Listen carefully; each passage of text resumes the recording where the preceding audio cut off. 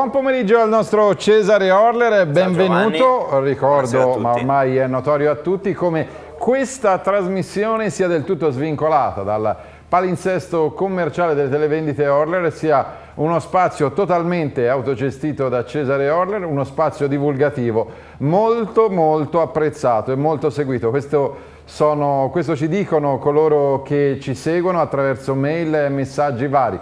Se volete interloquire con Cesare abbiamo anche il solito numero di telefono 041 63 12 40 per porre a Cesare domande, curiosità e quant'altro. Viceversa Cesare è molto attivo come sapete sui social, Instagram e Facebook, anche su quei canali potete contattarlo. E allora Cesare, eh, ben ritrovato. Eh, quali sono gli argomenti? Cosa vuoi offrire oggi al nostro pubblico che ti aspetta sempre così numeroso? Non era mai successo? Che il venerdì sera alle 17 ci fosse un pubblico così presente e attento? Allora, come avevo già anticipato eh, sui vari social, avevo proposto questo tema in occasione della mostra che c'è ora in uh, corso a Venezia su Adrian Gheni, il tema della pittura nell'arte contemporanea, ma facendo cosa? Eh, mettendo a confronto tre mostre che non sono tre mostre a caso, sono tre mostre che hanno avuto luogo nell'ultimo anno solare, dall'estate scorsa ad oggi, tre mostre tutte e tre a Venezia, su pittori contemporanei. Due di queste sono state fatte a Palazzo Grassi, tra Palazzo Grassi e Punta della Dogana, quindi François Pinol, e già questo è un nome che ci dice molto Accidenti. sulle mostre in corso, da Demi Nirst a Urs Fischer, una stagione che ha avviato da un po' di anni, e l'ultima è appunto Adrian Gheni che è una mostra in corso a Palazzo Cini in occasione proprio di questa ultima biennale. Allora io inizio dalla, dalla prima mostra che è quella su Albert Olen eh, a Palazzo Grassi l'anno scorso, una mostra che si intitolava eh, Cosa by the Water, quindi diciamo allora un artista, ecco mi avevo scritto anche tutte le date di nascita apposta, Olen è del 54, perché? Perché questi sono tutti pittori, diciamo i pittori contemporanei che ora hanno successo, che hanno un mercato di un certo livello, fatalità sono tutti artisti nati negli anni 50 e non è un caso.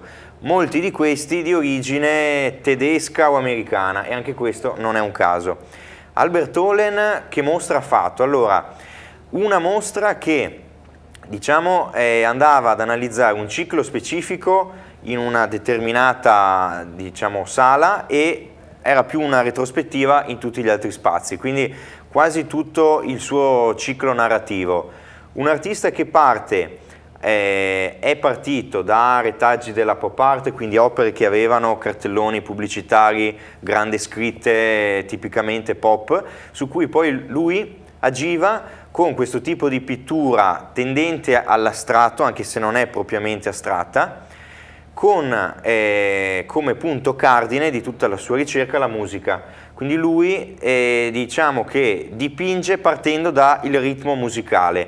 Ecco che quando ha fatto questa mostra, dove c'erano opere figurative, su cui poi lui aveva, eh, ehm, era intervenuto con questa pittura eh, astratta, opere pop con la pittura astratta o opere completamente astratte e il ciclo, il filo conduttore era la musica, quindi lui aveva creato una playlist, quindi tutti quelli che andavano alla mostra si potevano scaricare una sequenza di brani musicali che di sala in sala gli davano il ritmo, un ritmo che si rivedeva nella scelta del colore, nella scelta della linea, nei soggetti, nelle tematiche, proprio era questo ritmo sincopato. Quindi andiamo da Albert Olen, un artista, ecco, di cui in Italia era la prima grande mostra antologica di questo livello, come è stata fatta anche di Luke Tuimans e ora di Geni. Sono esatto. per tutte e tre le prime tre mostre che hanno fatto a Venezia, ma più in generale in Italia, tutte nell'arco di un anno. Quella di eh, Luke Tuimans, che è stata fatta ancora quest'inverno, sempre a, a, come si dice, a Palazzo Grassi, è una mostra, secondo me, ancora più interessante perché lui è un artista, e ti dico anche, Twimans è del 58, quindi 4 anni di distanza da Hollen, un artista completamente diverso perché parte come Gainey da questa base che è fortemente influenzata da Francis Bacon, quindi questo gioco di figure che sono in costruzione, delle figure che non sono mai perfettamente delineate, nel caso di Gainey perché cerca di deformarle con le pennellate, nel caso di Twimans perché o fa degli avvicinamenti, quindi magari zooma su una mano, un braccio, un occhio, o perché ricrea quella specie di filtro fotografico che non mette a fuoco bene l'immagine, quindi sfuma un po' i contorni.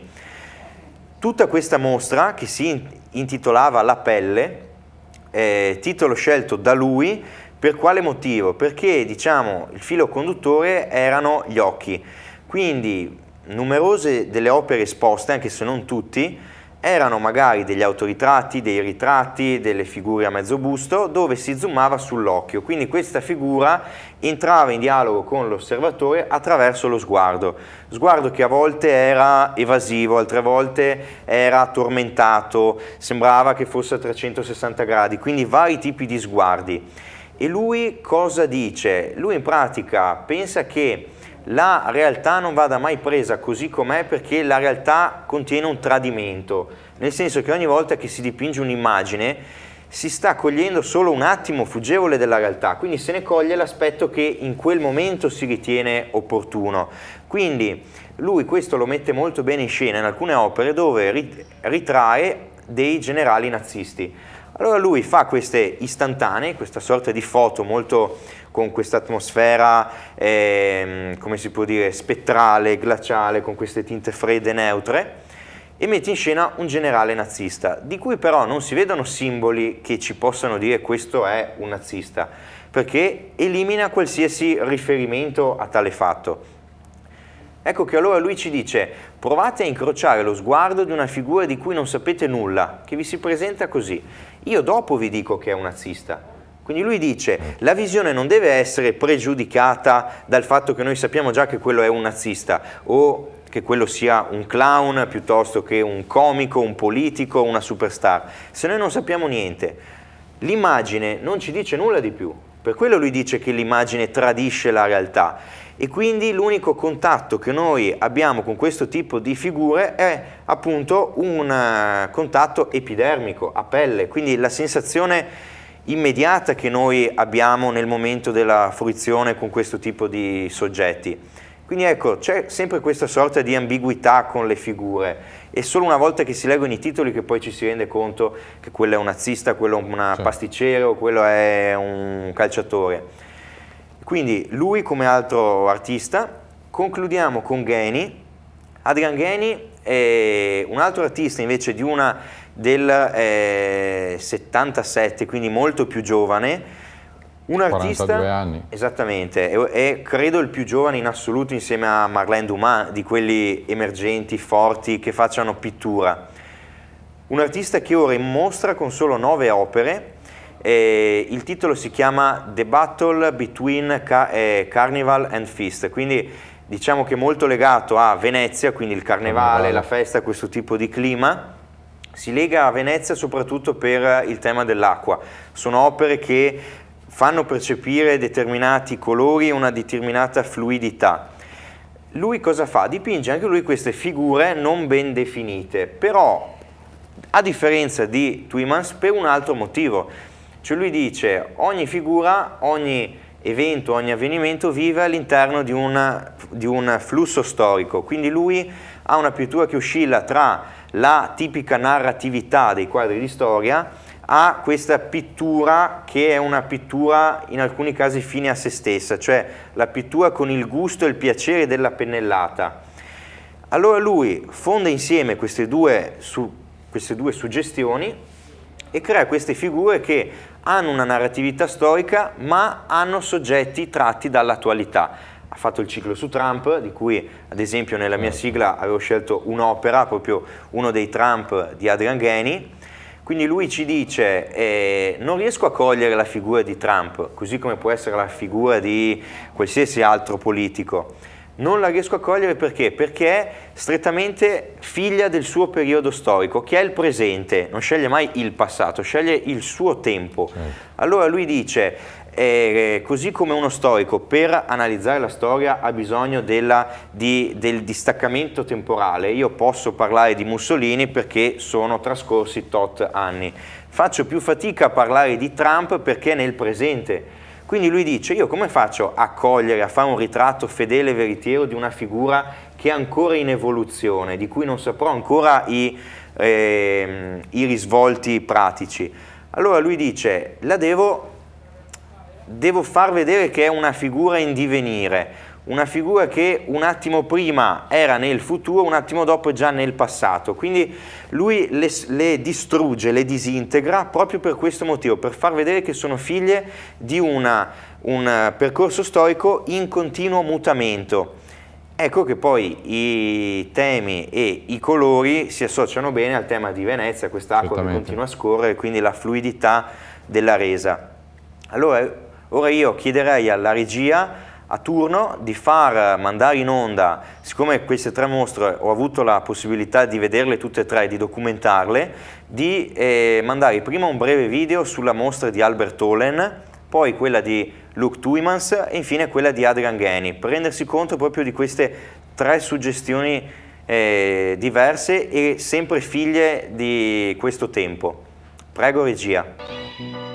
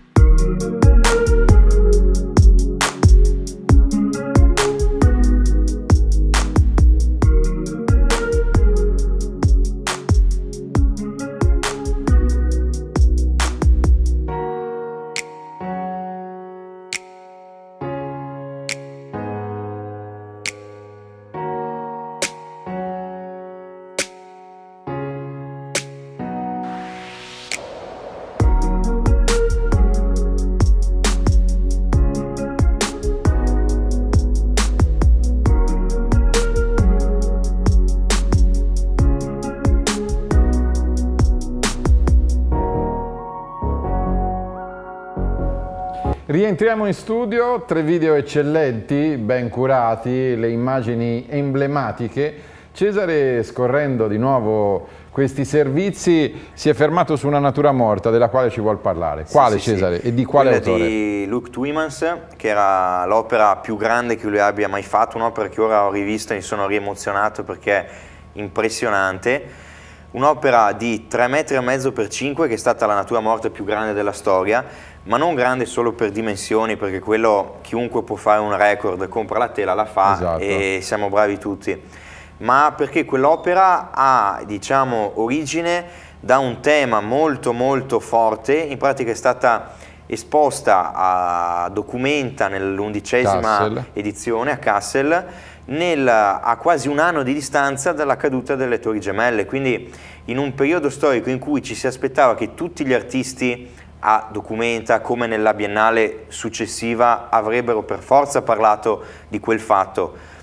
Ecco che allora quando chiesero, perché tutti i giornalisti si aspettavano un Twimans che dipingesse la caduta delle torri o un cadavere steso a terra o queste scene, lui ha detto ma io ho trascorso un anno in cui lui era in America tra l'altro, in cui tutti i giorni sono stato bombardato di video, immagini, scene rac eh, raccapriccianti. Dici ma cosa posso dire io di più di quello che continuo a vedere nei TG, di quello che è successo? Come faccio a rappresentare questo dramma? Sarei per forza finto e riduttivo nel trasformare questa realtà?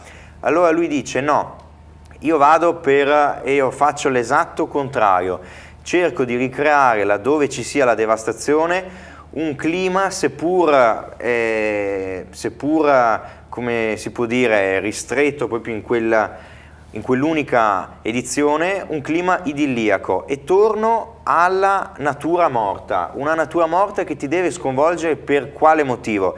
Per la densità per questa luce, perché è una natura morta quasi retroilluminata, è il fondo chiaro che illumina poi in maniera diffusa tutta eh, la brocca, certo. il piatto, i vari elementi. E quindi lui dice, io sono in grado di sconvolgerti non perché dipingo un cadavere, ma perché dipingo una natura morta così come tu non l'hai mai vista. Cioè te la pongo con le stesse misure monumentali del dramma che tutti stanno passando. Per me è stata una cosa in, incredibile e in quell'edizione è stato l'artista più ammirato in assoluto e l'unico che ha fatto eh, l'opera che meno c'entrava con tutta l'edizione. Ecco, si è grandi artisti quando si riesce a cambiare il punto di vista, non quando si va dietro eh, alla coda di macchine che passano e tutti che certo. prendono quella strada. Uno degli argomenti che Cesare si era proposto di affrontare in questa sua nuova trasmissione è l'evoluzione del concetto di pittura eh sì. nel contemporaneo. Perché ecco, questi tre artisti ci fanno vedere una, una pittura come la intendiamo ancora noi oggi. Ho detto sono artisti tranne Adrian Gheni, io qua ho un piccolo elenco, tutti i pittori, i primi che mi sono venuti in mente, da Solage, che è del 19 a quasi 100 anni, a Kiefer del 32, Hockney del 37, Richter, Marlene, Marlene Dumas, Olen, Stingel, George Condo, Twimans, Peter Doig, Jenny Saville, Adrian Gheni, questi sono tutti pittori di fama incredibile. Planetaria. Vanno dai, da Hockney 90 milioni di record, a Richter 36 milioni, Kiefer 12 milioni, Stingel 8 milioni, eh, Peter Doig 29 milioni, Jenny Saville 12 milioni, quindi prezzi astronomici e giustamente eh, tanti artisti anche ora sui social mi chiedono ma io che faccio pittura cosa devo fare per farmi notare? Avrò mm. qualche chance, qualche speranza di, di, di, avere un mio posto nella storia? Ecco che allora io, io chiedo a questi artisti anche che non hanno questa età, artisti giovani appena usciti dall'accademia, 20, 30, 40 anni, non per forza alla Solage che hanno 100 anni. Certo. Allora, eh, io consiglio un libro un libro che si chiama Art Mix di Germano Cellant, è un libro lui, eh, in cui lui già nell'introduzione dice come la pittura nell'arte contemporanea sia difficilmente isolabile come un caso unico.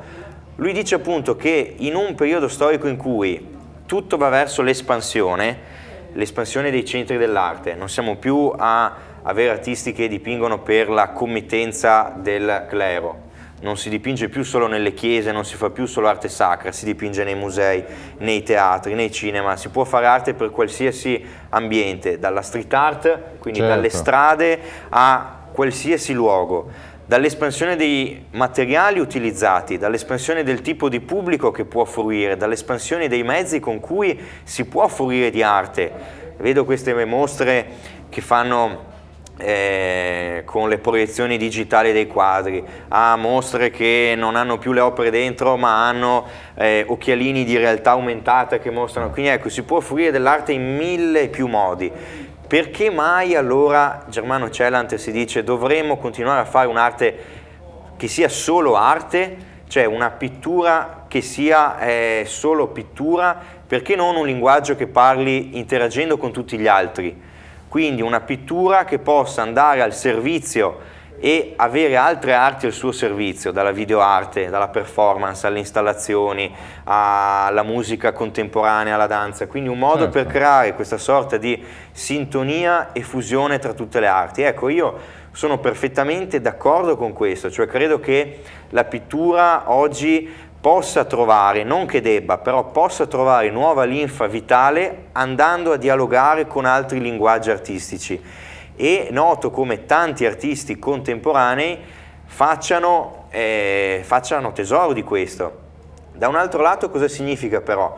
C'è anche un altro lato della medaglia, qual è? Che fare eh, un tipo di arte che fonde più generi significa avere competenze molto più ampie.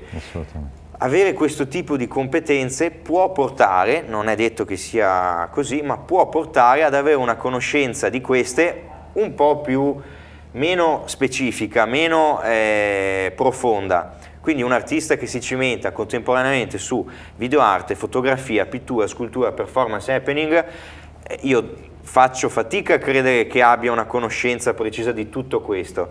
Ecco che si arriva a un artista che deve cambiare la sua identità. Avendo a che fare con troppi linguaggi, ha bisogno di un team in cui ogni figura è specializzata su questo linguaggio. E si arriva alla figura da Jeff Koons a Damien Hirst dell'artista progettista, l'artista architetto, cioè quell'artista che non può avere la competenza di ogni singola materia, però fa diciamo il manager, coordina tutto questo team, quindi lui svolge quel ruolo più mentale, più eh, come si può dire, di coordinazione, di coordinamento di tutti gli altri e poi quello che va veramente a scolpire l'opera, a dipingere il quadro, a performare sono ingegneri, operai, performer e, e quant'altro. Quindi ecco, avere un'arte, una pittura che entra in dialogo con altri linguaggi significa avere un pittore che è facilmente un pittore, un artista architetto, un artista progettista certo. e si avvicinerebbe quindi alla figura di Hirst, Jeff Koons e altri. Quindi credo che questa sia più o meno una previsione di quello che può succedere andando verso questa direzione. In quest'ultima parte della tua trasmissione, eh, ascoltandoti parlare poi di Germano Celant, mi è sorta naturale una domanda che ti volevo fare. Un giovane studioso come te, un critico emergente ma ormai anche affermato, a chi guarda prevalentemente? Ai vecchi storici dell'arte come Longhi, come Argan, come Zeri, come Raghianti? Oppure a Celant, Barilli, Crispolti, Achille Bonito-Oliva, ovvero coloro che hanno eh, dato un contributo affinché certi linguaggi si affermassero e diventassero poi cifra ormai indelebili nel secondo Novecento? Allora, sicuramente quelli che, sto, che, ho che, ho già studiato in triennale, ora ho iniziato questa settimana la magistrale, quindi certo. vedo anche il ricambio, eh, mi hanno fatto partire chiaramente dalla scuola di Vienna, Vico, certo. Frigel, tutti quanti, quindi sono partito anch'io da quel tipo di critica d'arte che tra l'altro è proprio quella stessa critica d'arte, la primissima, che si auspicava questa espansione, è la scuola di Vienna la prima Certamente. in cui si dice molto prima di Fluxus e altre cose varie che ora si dicono, molto prima diceva uniamo arti maggiori, arti minori, la pittura con le arti applicate, ci deve essere un'unione vera con tutto questo, con la realtà. E da lì poi Fluxus che dice arte uguale vita, vita uguale arte, usiamo tutti gli strumenti che abbiamo della vita per fare arte certo. e quindi non più la pittura ma una pittura integrata con tutti gli altri linguaggi. Ecco, quindi diciamo che come stimolo per tutti questi ragionamenti posso veramente sbizzarrirmi con la critica, perché di questi argomenti si parla dalla scuola di Vienna fino a oggi. Non c'è un vero critico d'arte che non si sia posto questo tipo di domanda, fino ad arrivare a quelli più contemporanei, che seguo con gran piacere dalle mostre che curano, ad esempio ecco, venerdì prossimo si parlerà della mostra che c'è in corso proprio di Germano Cellan di Emilio Isgro, alla Fondazione Cini, a quella di Bruno Corradi Burri, come abbiamo visto, quindi storici dell'arte contemporanea che parlano sia di artisti come Burri, sia di artisti come Isgro, quindi mh, mm, più suggestioni. Quindi io trovo che non si debba una, diciamo, un giovane critico, chiunque studi quello che sto studiando io, non si debba fermare solo alla critica contemporanea, perché anzi trovo stimoli contemporanei, a volte anche ancora di più, in quelli pre, eh, precedenti. Quindi veramente la critica è un flusso continuo di idee, immagini e stimoli. Cosa ti attende? Mi sembra che si avvicini molto rapidamente quella data, inizio ottobre, eh di sì. una grande mostra da te curata ricordiamola perché insomma credo sia eh, con tutto rispetto sì, sì, per quelle finora eh, che hanno visto Cesare protagonista, ma qui davvero fa il salto di qualità alla grande. Allora è la mostra che terrò a Chiari, quindi Brescia, alla Galleria L'Incontro di Erminia Colossi. 5 ottobre. 5 ottobre. La mostra si chiama Arte in Carta, è una mostra in cui appunto è proprio reduci ora da Wop Art, la fiera di Lugano dove si espone solo carta che carta. è finita in questi giorni, non so se sia ancora in corso oggi.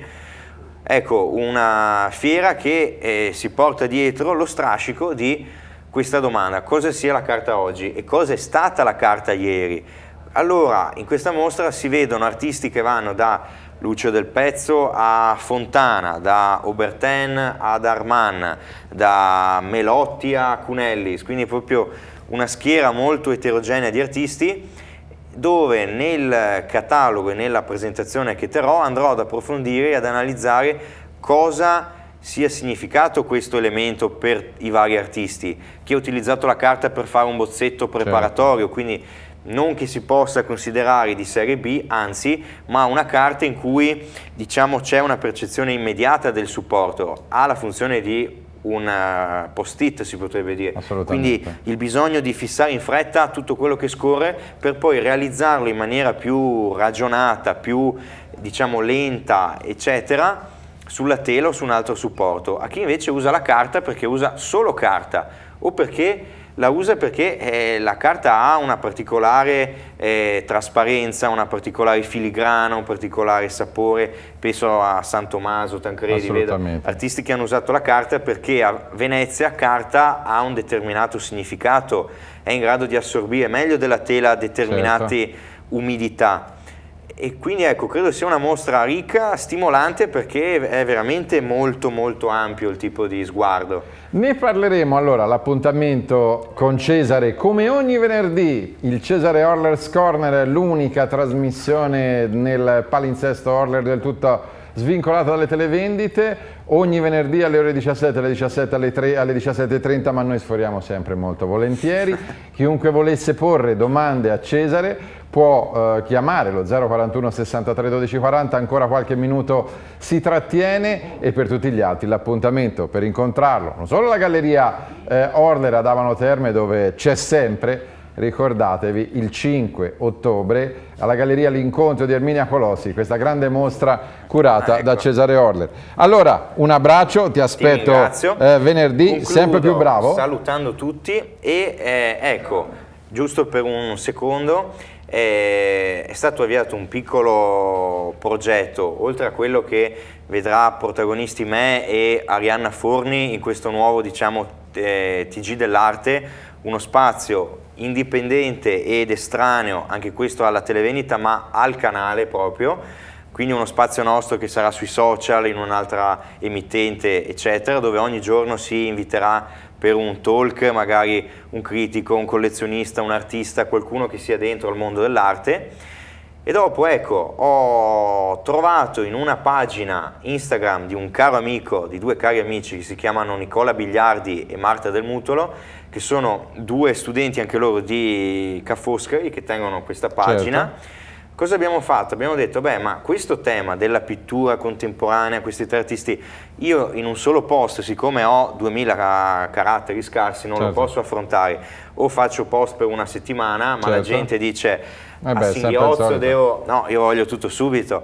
Allora abbiamo detto, bene, facciamo così, io divido con un post e una diretta, voi fate altri due post, certo. quindi abbiamo creato questo dialogo Sinergia. e ci si può rimpallare da uno all'altro, uno lancia il sasso, l'altro lo afferra, introduce un altro tema, quindi c'è uno scambio interessante, quindi vi invito a seguire anche questa pagina che si chiama All Art Has Been eh, Contemporary, che tra l'altro è anche una delle scritte che appare nella mia sigla, quindi è giusta. Benissimo, saluta Arianna, Giovanni, la mia amica Arianna Forni, salutiamo anche Giovanni Orler che... Ah, ecco, Michele, D'Abano, Michele, Michele D'Abano, salutiamo sì, sì, Giovanni Orler che un tempo era un grande gallerista, oggi è semplicemente il papà di Cesare Orler. Cesare, Buonasera a venerdì a prossimo. Sigla. Grazie Giovanni.